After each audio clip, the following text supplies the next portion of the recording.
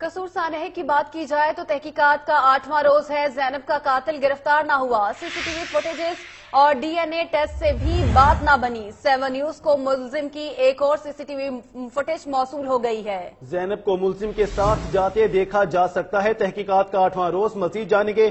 نمائندہ seven news Mirza رمضان سے۔ مرزا رمضان بتائیے گا، آٹھواں روز ہے۔ قاتل ابھی تک گرفتار نہیں کیا جا سکا۔ تحقیقات کہاں تک پہنچی ہیں؟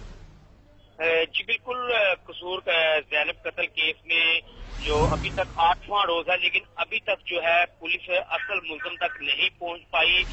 آج کی جو نئی C C T V footage جو سیون نیوز نے حاصل کی ہے جس میں ملزم کو دیکھا جا سکتا ہے اور ساتھ جو ہے وہ بچی بھی دیکھی جا سکتی ہے۔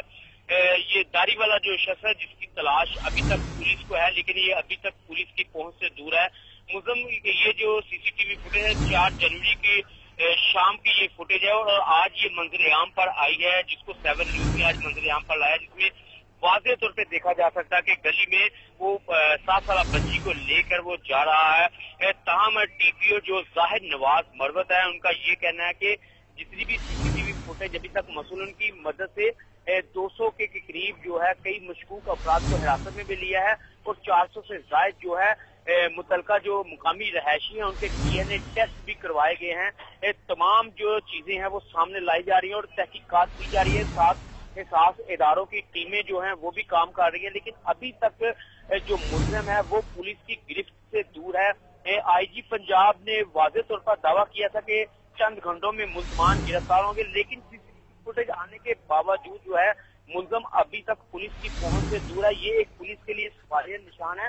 جبکہ اگر بات کی جائے تو دو سو گز کے فاصلے پر یہ واقعہ ہوتا ہے اور اس سے پہلے بھی پانچ بچیوں کے ساتھ دو سو گز کے فاصلے پر اسی حضور میں یہ واقعہ جو ہے افسوسناک پیش آئے ہیں اور زینب قتل کیس میں اب تحقیقات کا آٹھواں روز ہے لیکن ابھی تک زینب کے قاتل کو گرفتار نہیں کیا جا سکا۔ بہت شکریہ مرزا رمضان بیگ آپ ہمیں اپڈیٹ کر رہے تھے۔